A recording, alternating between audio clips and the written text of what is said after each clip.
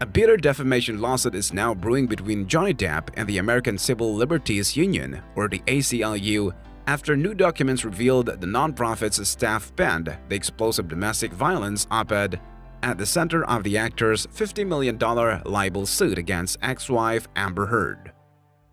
ACLU emails expose Amber Heard caught lying again.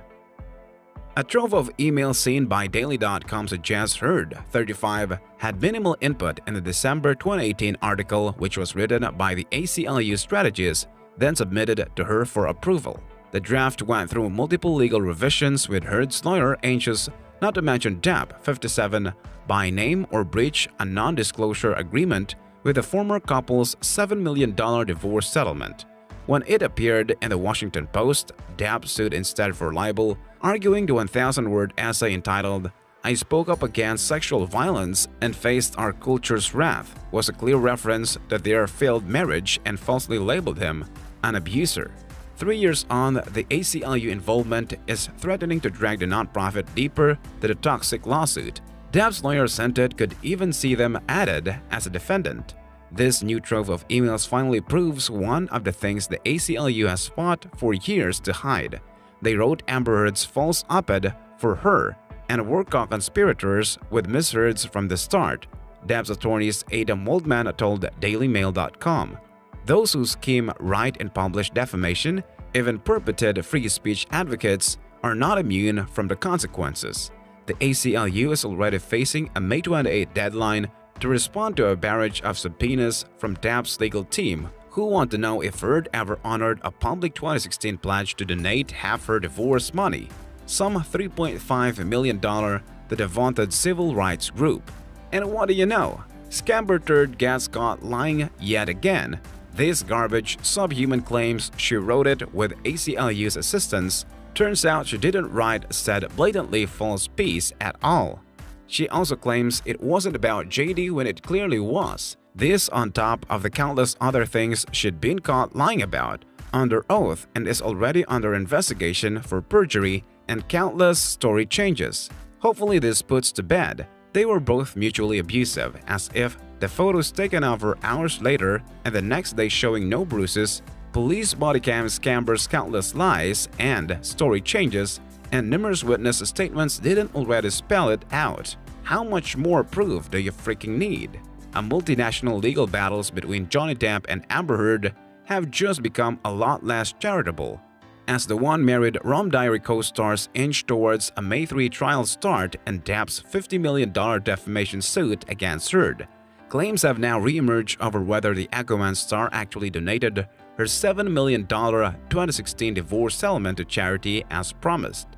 A clearly planted story in the UK's Daily Mail seems aimed to help get the Pirates of the Caribbean actor the new trial he is seeking against fellow tabloid The Sun over being labeled a wife beater in print. Mr. Depp's effort to plant stories in the media criticizing Amber for not yet fulfilling all the donations she pledged to charity is yet another desperate attempt to divert attention from the UK court's findings relating to allegations of Mr. Depp committing domestic abuse or violence. Heard's U.S. attorney Elaine Bredehoft told Deadline in a statement after the Mail story appeared online. While Depp initially handed over $100,000 of a promised $3.5 million to LA's Children's Hospital Foundation in Heard's name in 2016, a 2019 letter from the organization asks the actress if you have knowledge if CHLA should expect further installments on your behalf or if the pledge will not be fulfilled.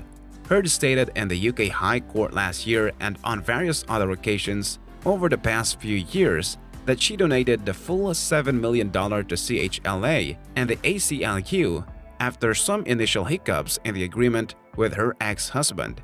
In fact, in his biting November 2020 decision against Depp in the libel case against the Rupert Murdoch-owned Sun, Judge Andrew Nicol made a distinct point of praising Heard as Team Depp sought to sully the motivations of the anti-domestic violence advocate. Her donation of the $7 million to charity is hardly the act one would expect of a gold digger, said High Court judge, also asserting the Sun's claims against Depp was substantially true. However, today, Heard's lawyer in a Virginia-based defamation matter and her client's $100 million counterclaim did noticeably walk back the full extent of the actress's benefactions.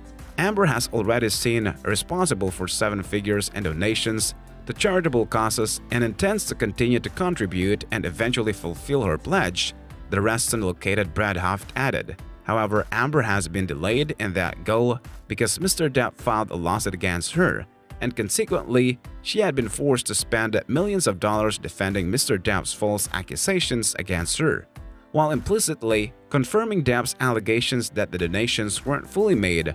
Bredehoft's explanation actually further complicates the matter in another manner. Depp sued Heard for defamation in 2019, over two years after the divorce settlement, so what were the big bucks Heard had to play out to lawyers from 2017 to 2019? That question may now become pivotal, and the UK having already seen one appeal attempt to go nowhere, as Depp UK lawyers want a new trial in part because the first trial's judge failed to properly assess her credibility by reference to documentary evidence photographs, recordings, or otherwise. Judge Nicol concluded that the appellant was guilty of serious physical assaults without taking account of or even acknowledging that Ms. Heard had been untruthful in her evidence, without testing her account against the documentary evidence and the evidence of other witnesses, and without making any findings that he disbelieved those witnesses. Barrister David Sherborne wrote to the appeals court on Christmas Eve.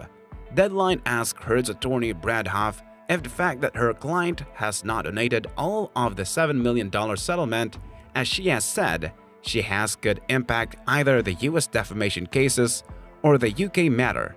No, they have nothing to do with each other, the Charlson Bredehoft Cohen and Brown PC partner replied.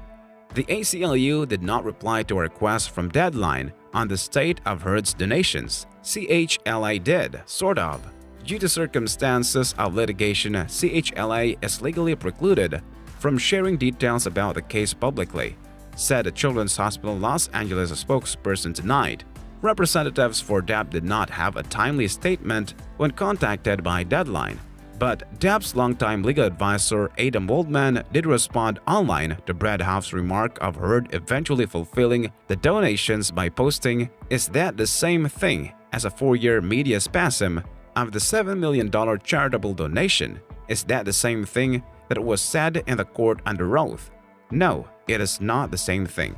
Frequently mentioned in filings by Heard's lawyers and the Virginia cases and no longer directly representing Depp and the matter, Waldman is currently being sought for a deposition that Heard's team say he's ducking. Just like Mr. Depp who refused to appear for his properly noticed deposition, Mr. Waldman appears or believe his court's clear rules respecting depositions do not apply to him, says a January 4 memorandum in opposition from Heard's attorneys to Team Depp's motion for a protective order.